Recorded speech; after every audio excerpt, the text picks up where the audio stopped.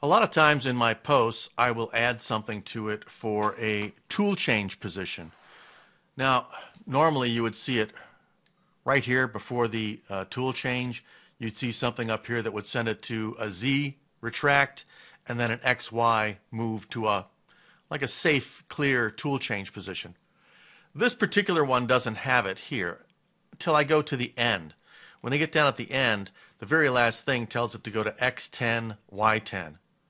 So here's the retract. It goes T0, Z0, and then moves X10, Y10. And that's really to move the table out towards you so that it's easier to reach in and grab the part and change the part. Now, there's usually a default in here in Mastercam or sometimes in the post. But if you want to change that, basically you'd go into your parameters and you'd find the home position button.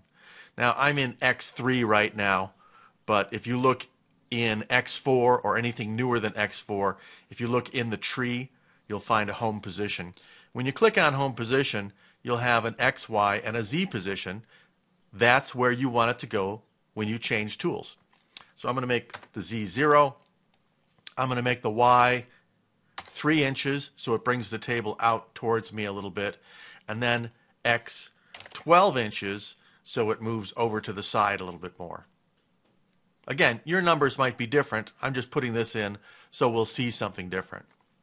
Now all I did was change it for this one particular toolpath.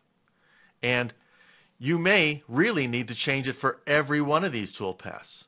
And the easy way to do that is to just select the group so all the operations are selected. Right click on top of that toolpath group. And we've shown this to you before. Basically, you go to Edit Selected Operations, and we're going to say Edit Common Parameters. Now, this allows me to change all the parameters that are the same for all of the toolpaths that I selected.